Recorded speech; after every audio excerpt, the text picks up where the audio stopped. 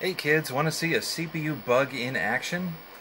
This is an IBM PC 5160 connected to an expansion unit, a 5161, which has my monochrome monitor in it, and, sorry, my monochrome adapter and my color adapter. This is what the setup I use to write code uh, over here and step through and debug it on my graphics output over here.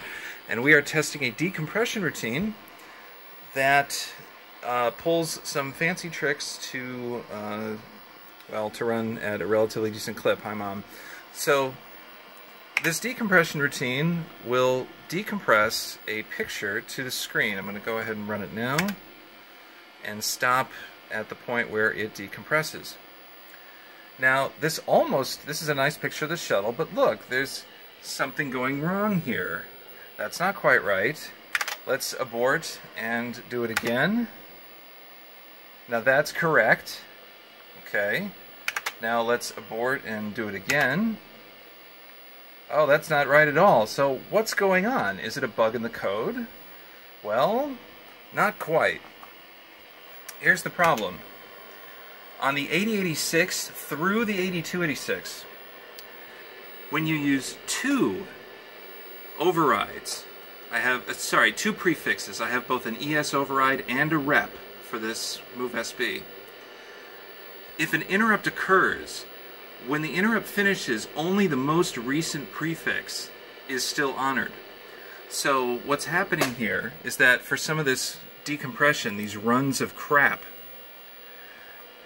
it's it's still copying the same amount because at, at the end of the interrupt the rep is still valid but since the ES override is gone, it's pulling data from the wrong place. You can see this is the original notation here by uh, Peter Ferrie. Uh, Peter and I are working on uh, this decompression code together.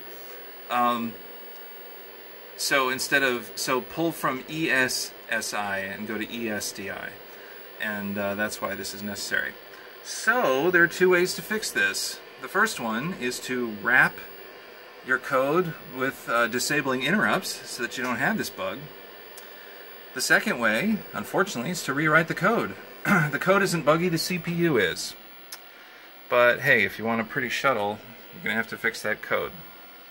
So, um, I mean, there's, okay, there's a third way, there's a workaround. If you wanted to switch these prefixes so that the, this is honored but the rep isn't, then at the end of the interrupt, it will go down to the next line, and then you could put something in here like, uh, you know, uh, jump if CX is zero, which means that the rep completed, uh, move on, otherwise uh, loop back and keep going.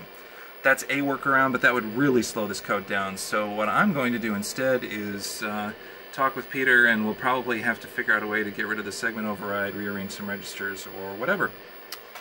Anyway, CPU bugs in action.